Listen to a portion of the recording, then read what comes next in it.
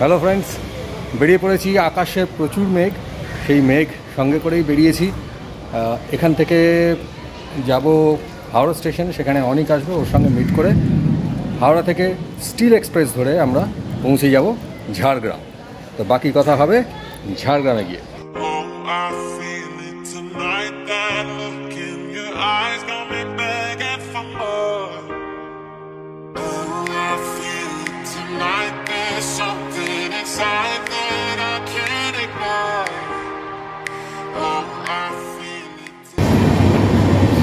বাজে আটটা চল্লিশ। আমরা নামলাম ঝাড়গ্রাম স্টেশনে, অনেক রয়েছে পেছনে। তো এক ঘণ্টা দশ মিনিট লেট করেছে স্টিল আজকে। এবারে আমরা এখান থেকে চলে যাব বাপুর ফ্ল্যাটে। সেখানে আমরা আজকে রাত্রে থাকব আর কালকে সকালে আমরা মুভ করব আমাদের এবারের ট্রাভেল ডেস্টিনেশন বেলপাহাড়ির দিকে। সো দেখা হচ্ছে কাল সকালে।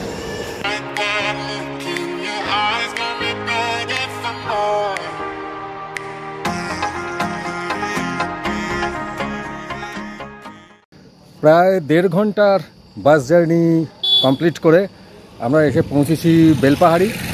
আর বেলপাহাড়ি থেকে দেখাচ্ছি এই যে, এই টোটোটা আমরা বুক করে নিয়েছি।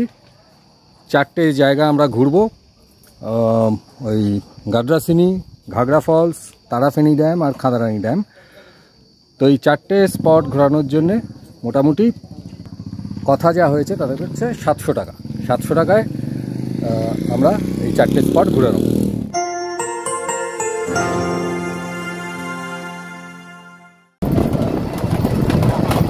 আমরা প্রথমেই চলে যাব গাডরাসিনি অসাধারণ সুন্দর একটা রাস্তা। জঙ্গল। জঙ্গল আছে, কিছু বাড়িঘর ধরো আছে। পৌঁছে গেছি গাডরাসিনি মোটামুটি ঘণ্টা চল্লিশ মিনিট মতো সময় লাগল। এইখানে এই যে গাডরাসিনী পাহাড়ের গুহায় যাওয়ার রাস্তা। এদিক দিয়ে দেখে আসি। বেলপাহাড়ি থেকে এই গাডরাসিনীর ডিস্টেন্স, আমাদের যিনি টোটো ড্রাইভার যিনি ছিলেন মানে যিনি আছেন, তিনি বললেন যে মোটামুটি বারো কিলোমিটার ডিস্টেন্স। বেলপাহাড়ি থেকে গাডরাসিনি এই রাস্তা। এই রাস্তাটা দিয়ে ওপরে উঠে যেতে হবে মানে পাহাড়ের টপে।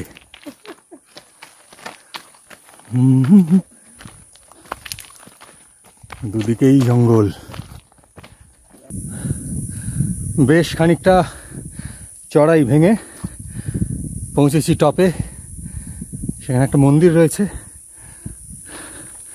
শ্রী শ্রী বাসুদেব ভগবান মন্দির। কিন্তু বন্ধ। আচ্ছা আমাদের এই দিকে যেতে বলেছে। কোন দিকে? এই সোজা। এদিকে? এদিকে কি আছে? বলল যেতে এদিকে। বলল উপরে উঠে মন্দির থেকে ডান দিকে। ওই টপটা? টপটা। ও আচ্ছা এটা টপ নয়। না এটা টপ না। ও এটা মিডিল পোর্শনে মন্দিরটা। তার মানে আরও খানিকটা উঠতে হবে। ওটা যাক।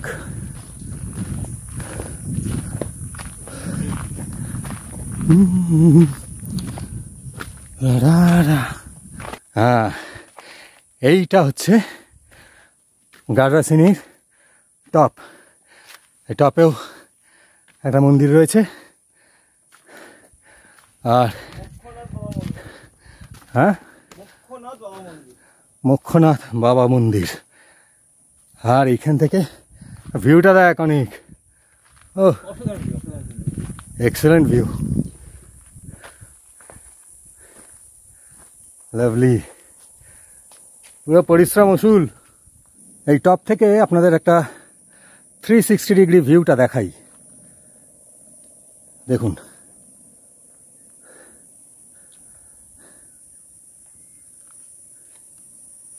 অসাম যেদিকে চোখ যায় শুধু সবুজ আর সবুজ।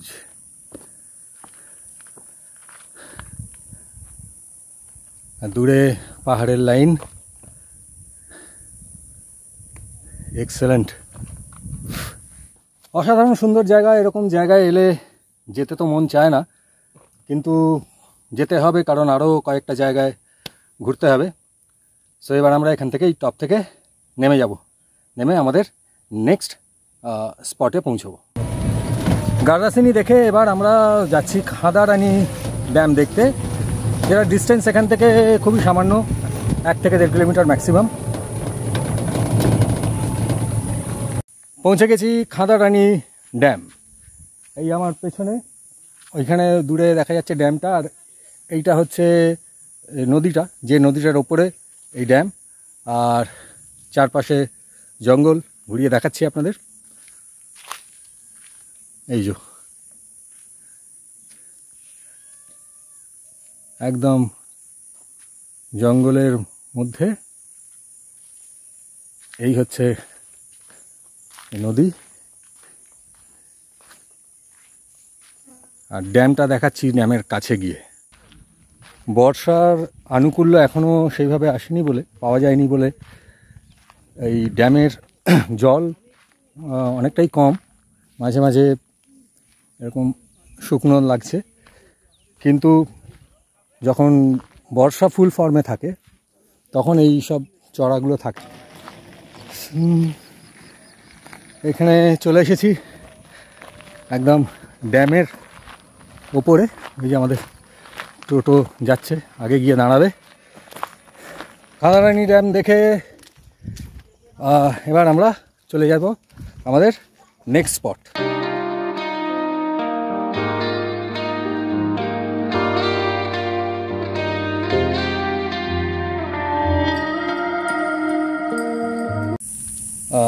ঘাগড়া যাওয়ার পথে আমাদের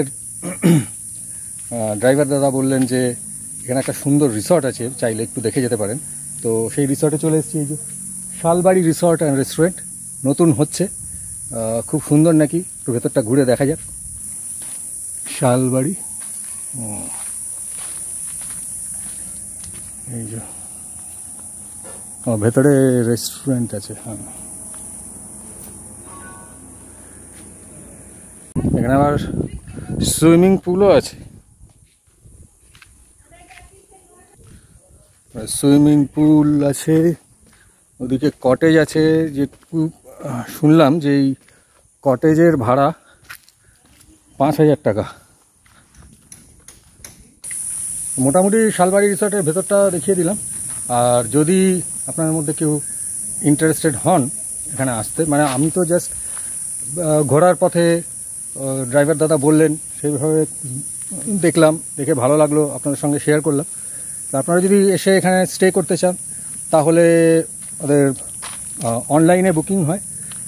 এদের নিজস্ব ওয়েবসাইট আছে W W W dot Shalbari resort dot com এছাড়া এদের ফোন নাম্বারও আমি ডেসক্রিপশন বক্সে দিয়ে দেবো, আপনারা চাইলে যোগাযোগ করতে পারেন। পৌঁছে গেছি ঘাগড়া। আর এখানে ঘাগড়ায় এই যে এই যে জায়গাটা দেখতে পাচ্ছেন, গাছে ঘেরা, এই যে সবুজ মাঠ, এটা হচ্ছে পিকনিক স্পট এখানে শীতকালে প্রচুর মানুষজন আসেন এখানে পিকনিক করতে। এই হলো ঘাগড়া ফলসের এলাকা। একটা মোটামুটি একটা ছোটোখাটো রিভার ক্যানিয়ন বলা যেতে পারে এটাকে। তৈরি হয়েছে।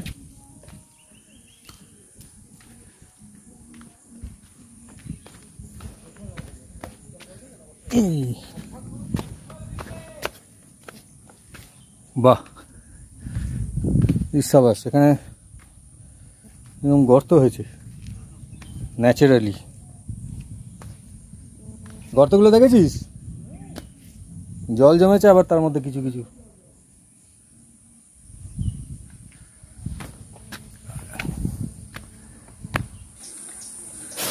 অ্যাডভেঞ্চার নামাটা বেশ অ্যাডভেঞ্চারাস নামা।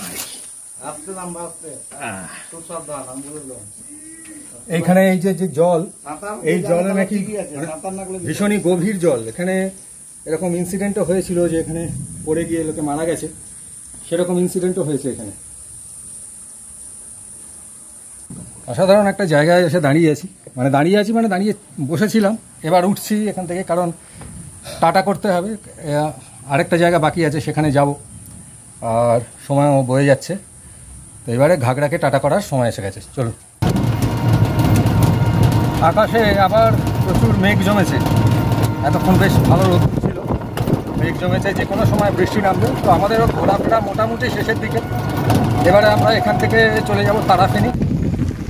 এই যে আমার পেছনে হচ্ছে তারাফেনি ব্যারেজ। ব্যারেজটা দেখিয়ে দিই। এইটা হচ্ছে ব্যারেজ। ব্যারেজটা ভীষণই সুন্দর। আর এখানে সব সব জায়গায় মানে আশপাশের এলাকাটা মানে সেখানকার যে ন্যাচারাল বিউটি সেটা নিয়ে কোনো কথা হবে না। অসাধারণ লাগছে এখান থেকে, এই যে নদীটা বেঁকে গেছে।